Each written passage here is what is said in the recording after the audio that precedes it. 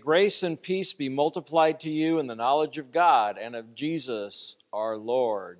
If you would open your Bibles, please, to Psalm 104. Psalm 104 is a praise psalm. In classic theology, we say that we praise God for what He has done. We worship God for who He is, and this is a psalm that praises God for what He has done. It has been called a splendid praise psalm. It has called, been called the finest praise psalm in the Bible. It has been called the most perfect hymn the world has ever produced. The psalm, in praising God, follows the events of creation of days 1 through 6 that are found in Genesis. It's not exact, but it does seem to be in order. But got to remember that it is poetry. One commentator said Psalm 104 is a poetic reflection on the creation story in Genesis. The Bible says that God rejoices in his creation. It also says that God's creation rejoices in him. And so for us to reflect on creation and what God did, you'll get a headache if you try to figure out how God did it. But figuring out what God did, you can read through Genesis, you can read through this psalm and just be amazed at God's creation and creative ability. John Piper wrote in his book, The Pleasures of God, which, if you have never read The Pleasures of God, I would recommend it. He went through the Bible, and every time it says that God is pleased by something, he wrote that in his book, and it is a biblical list of things that please God. If you've ever wondered, what pleases God? Well, there's a book called The Pleasures of God, and in that book it says, Creation pleases God, and it pleases God because it glorifies Him in so many profound ways. The fact that there was nothing and then God created all of this is something that we just stand and we are amazed at, and that glorifies God. And so this psalm goes through the days of creation. It talks about light in verse 2, which is day 1. It talks about the firmament dividing the waters in verse 2, which is day 2. It talks about the land and water distinct from one another in Psalm 104, 5 through 9 and 10 through 13. And vegetation and trees, which is Psalm 104, 14 through 17 which is day three. Day four, you have light in the sky and the seasons in verses 19 and 23. You have creatures of sea and air in verses 25 and 26, which is day five. And you have animals and man and food for all creatures, which is day six. And so we see that God's creation glorifies God. It starts by saying, Bless the Lord, O my soul. O Lord my God, you are very great. You clothed with splendor and majesty, covering yourself with light as with a garment, stretching out the heavens like a tent. He lays the beams of his chambers on the waters. He makes the clouds his chariot. He rides on the wings of the wind. He makes his messengers messengers winds, his me- he makes his messengers winds, his ministers a flaming fire. So, God standing above creation can stand on creation as it were. He is not part of creation. If you look at the, the religions of the ancient world and even some today, there, there would be a storm a mighty storm, and the people would reason that there must be a God of storms.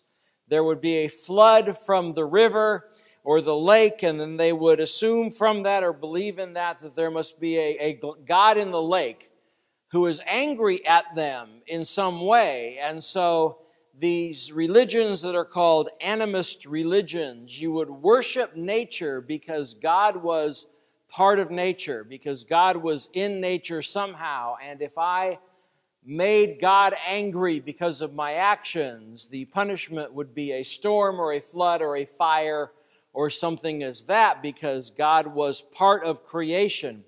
The idea that creation emanated out of God or became part of God is what many of the ancient false religions believed. And there's a bit of Hinduism that believes that today, a bit of Buddhism that believes that today that God is actually in the tree and God is in the lake and God is in these things or part of these things. That is something that is directly against the Bible. God is not part of creation. Creation did not come out of his essence or out of his being. God being in nothingness, in infinite spiritual whatever that we don't even know in eternity, decided to create matter for the first time.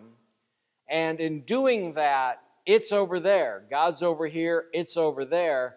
God is not part of his creation. As creation is damaged by sin, which is what we did, then that does not negate or weaken God in some way. Uh, C.S. Lewis says it is surely just because the natural objects are no longer taken to be themselves divine that they can now be magnificent symbols of divinity.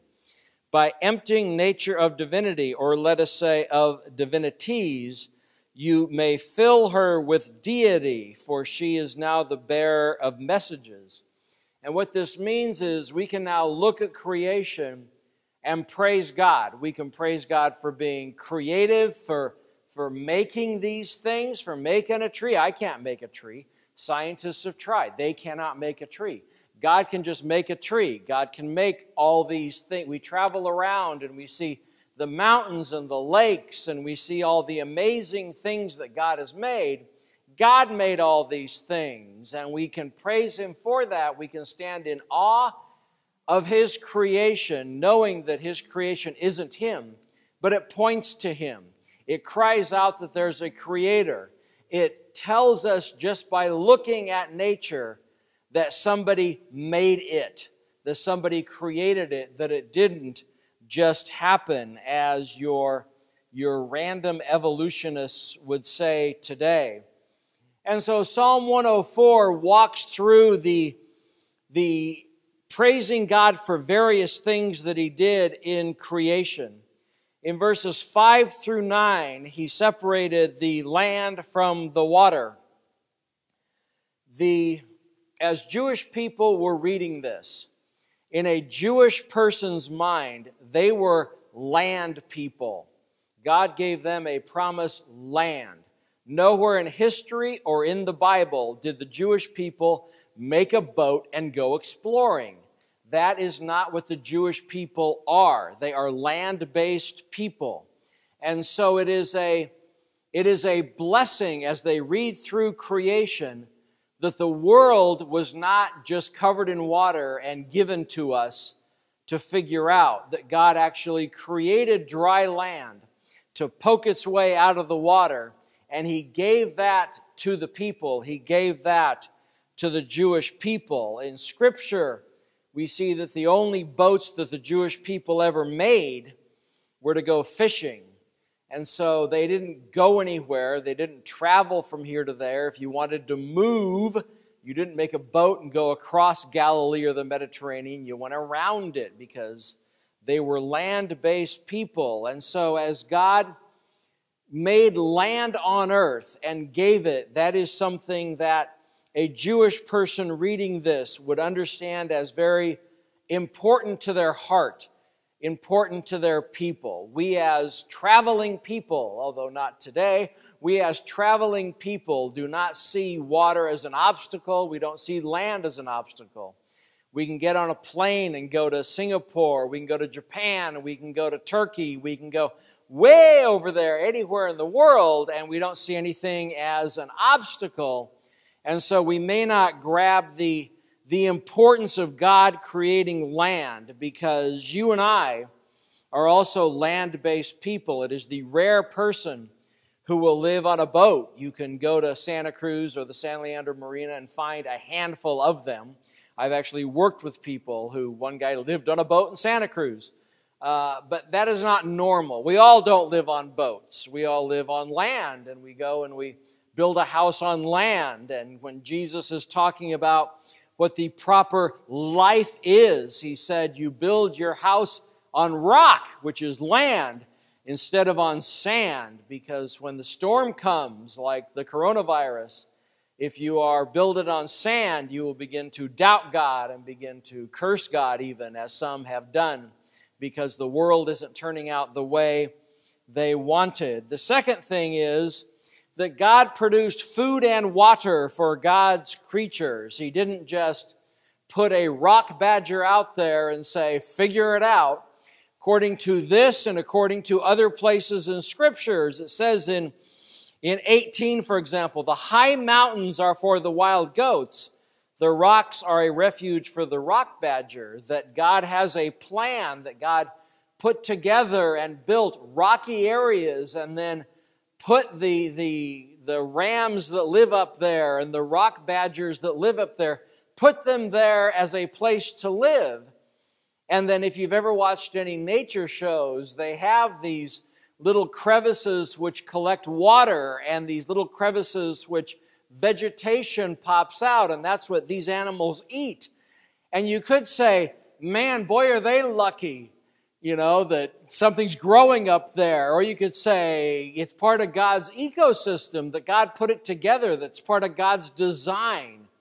That they're going to eat the little vegetation that grows through the rocks, and others are going to eat, uh, you know, wheat and land and grasses and stuff that people, that animals that live down here.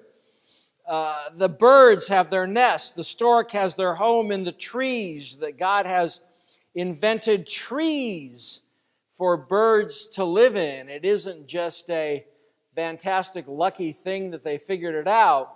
No, God put it in the minds of the birds that they're supposed to live up there on trees, or as we build tall buildings, live in the tops of the tall buildings. That that is what is in the mind of the birds. That is what is in the mind of the mountain goats. That is what is in the mind of the, the animals in the sea. That is, all these things are designed and put together, and God has built it that way. And if you look at any details of how the world works together and how the whole system of food and water and reproduction and where animals live and what they're supplied for there, you, you are amazed. You could just say, wow, you know, Mother Nature is really clever.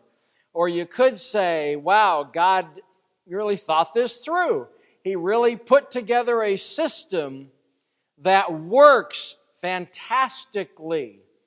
And that truthfully, no matter how much we try, we're not going to break it. God's system is better than us, is bigger than us. And so if we look at it we just stand back in awe that God, God's amazing.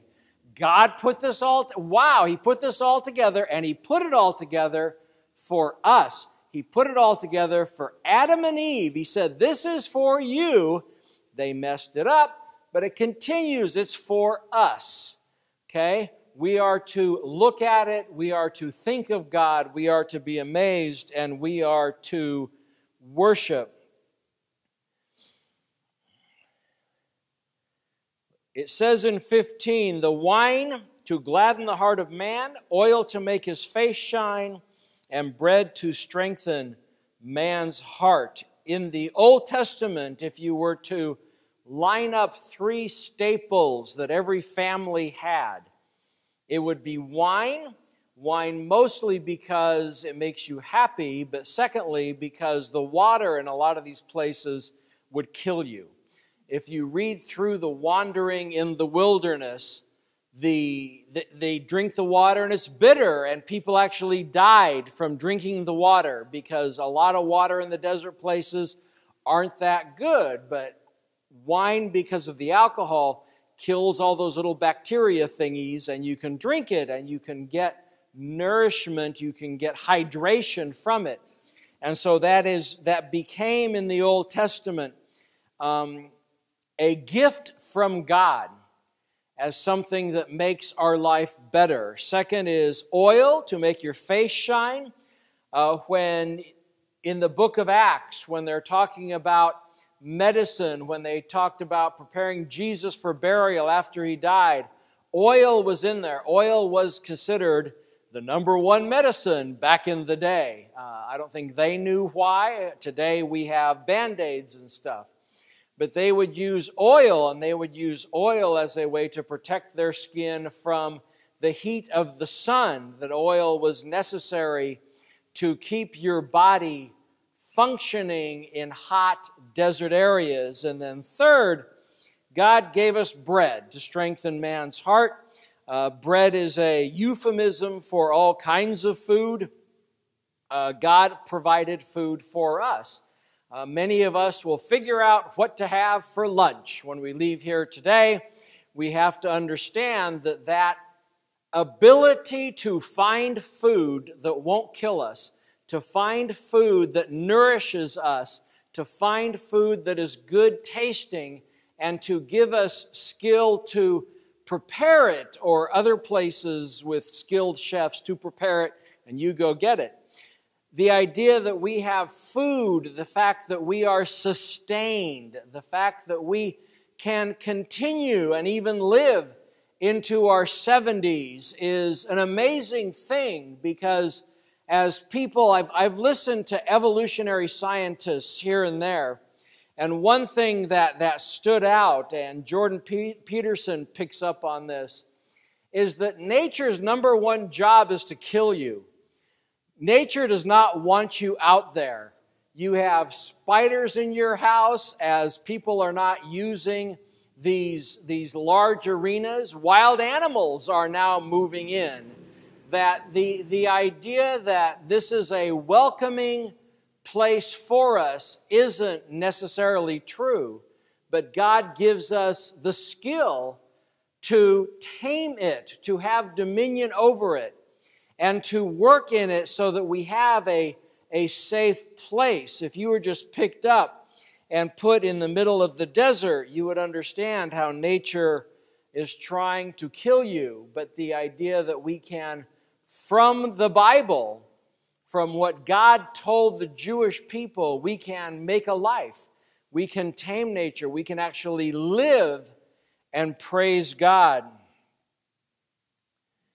Verses 19 through 23, God put lights in the sky. We call them the sun and the moon, and they are regular. And people who have looked at them all the way back to, you know, probably Adam and Eve and Noah, they noticed hey, the same time every morning the sun comes up and goes down. And if they were to count off the hours, uh, in Jesus' time, they talked about the third hour, the fourth hour, the fifth hour. They're counting off the hours. And it's the same all the time. God has regulated time. And back in the back in the day, if you were walking down the street and you didn't have a watch and you saw somebody who did, you could ask them what time it is, and they would look at their Timex and they would tell you what time it is. And then if you asked the next person what time it is, it would be the same time because time is regulated. Now we have phones and computers and all sorts of things. We have big old clock towers that bong on the hours, and it, is the same and has been for thousands of years that God has created regulated time. We have put names like minutes and seconds and hours on this regulated time. The only time that God invented was the day.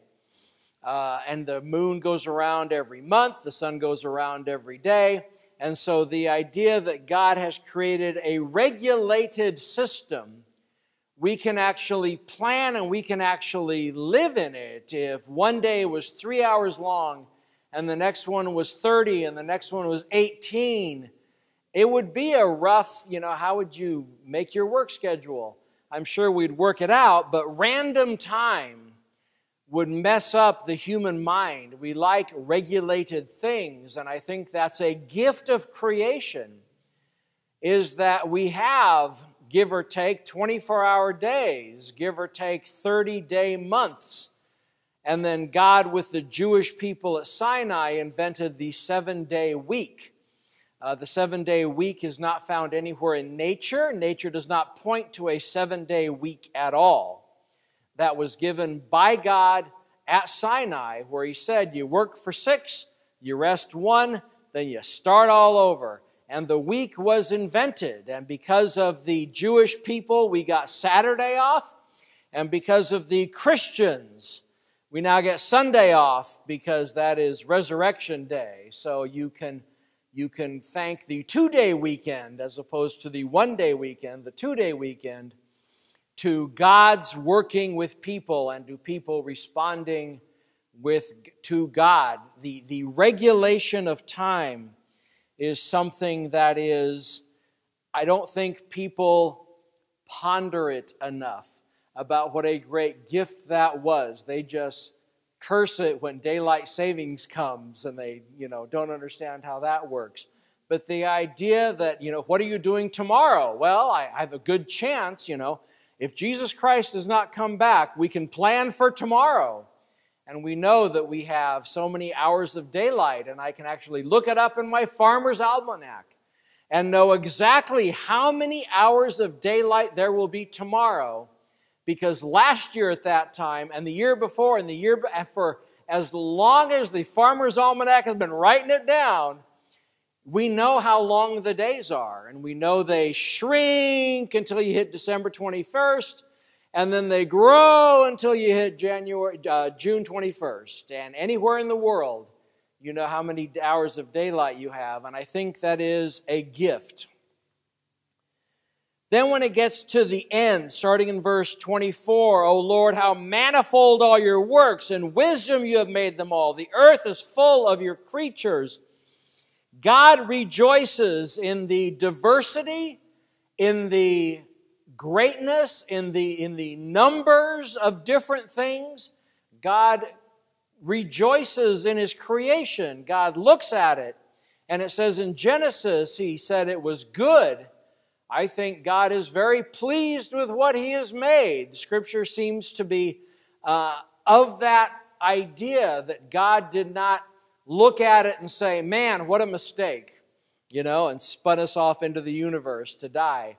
No, He likes what He made and He loves us. And so that is something when God looks at creation, even with us in it, He looks at creation and He says, this is a good thing this pleases him.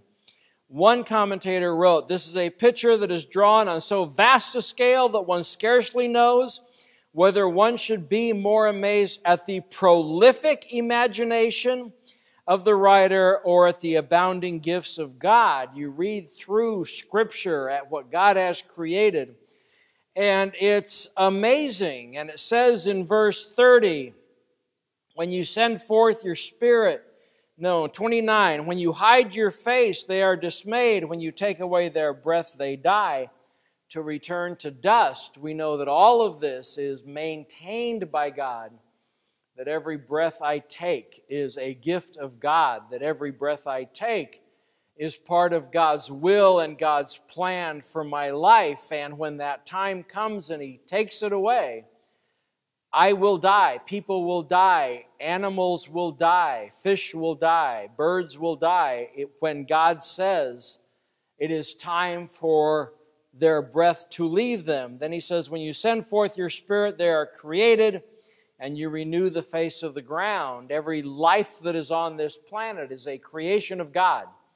There are no accidents. Evolution is a lie is an unprovable lie meant to push God out of our schools. God is the creator of all. Starts in 31. May the glory of the Lord endure forever.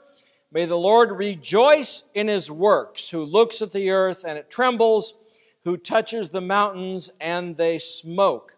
I will sing of the Lord as long as I live. I will praise I will sing praise to my God while I have being. May my meditations be pleasing to him, for I rejoice in the Lord. If you look in the book of Job, in 38, when God is explaining to Job how little he knows, God says, Were you there when I laid the foundations of the earth?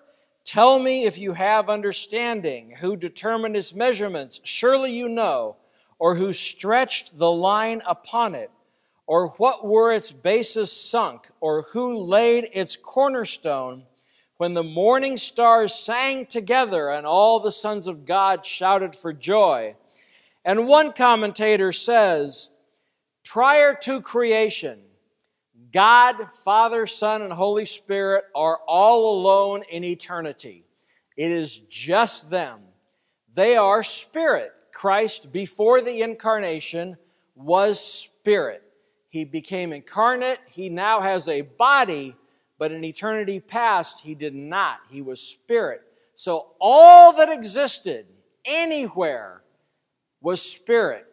Then God creates some angels. God creates some heavenly beings to be with him. And they are spirit. And so you have only spirit in existence. Spirit you can't touch. Spirit you can't see unless they want you to. Spirit that can go anywhere, be anywhere. Spirit.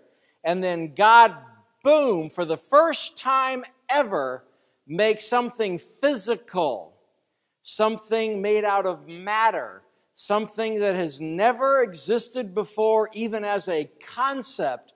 He makes a physical universe that you can touch, that you can see, that can't move around really fast. It is a physical thing that we live in. And John Piper writes in The Pleasures of God that this must have blown away the angels so much to just see this spiritual existence become physical instantly. All the stars, all the galaxies, all the nebula, and us, all brought into existence instantly. And it must have blown them away.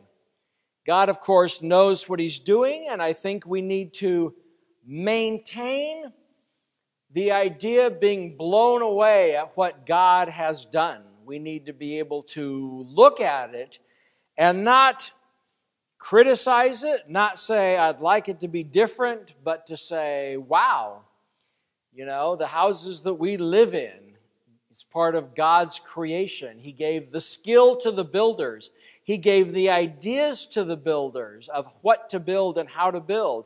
He gave the ideas to you on what you wanted to build, things of this nature.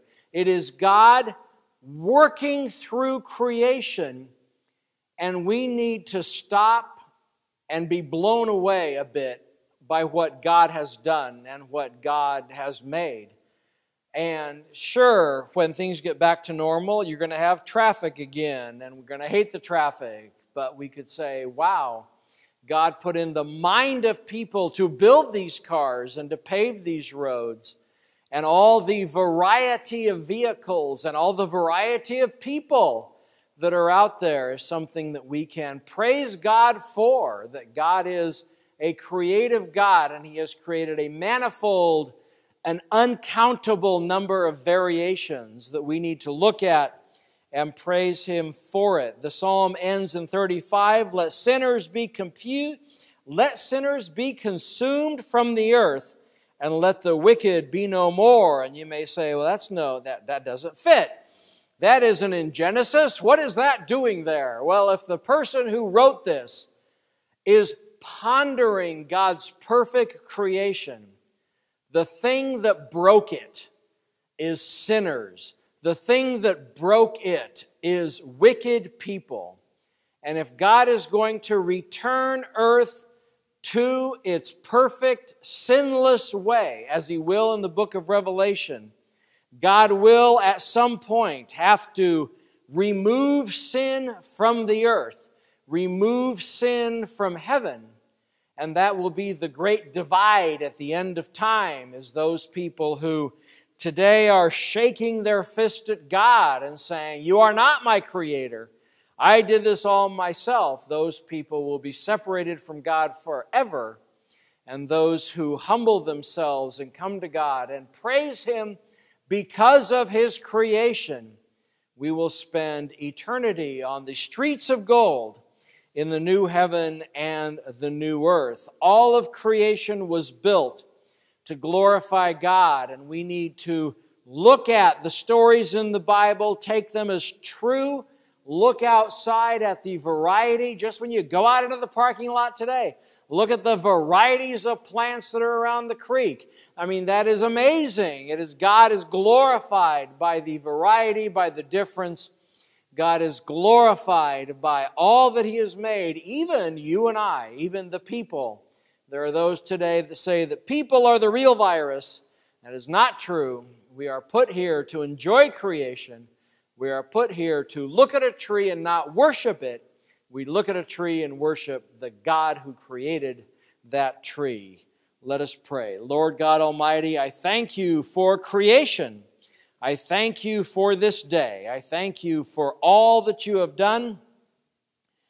And that in doing it, I pray that you would focus our minds and our hearts on you and on your glory. I pray that during this time of difficulty that we are living in, the people will not shake their fist at you, but they may see it as a time, as an opportunity to actually come to you in all humility and to stand before you and praise you for all that you have done for us. For you keep us, you feed us, you keep us safe, you keep an atmosphere on this planet so that we can breathe. And Lord, through all of that, we just thank you. You are truly our Creator and our Savior. And we ask all this through the blood of Christ. Amen.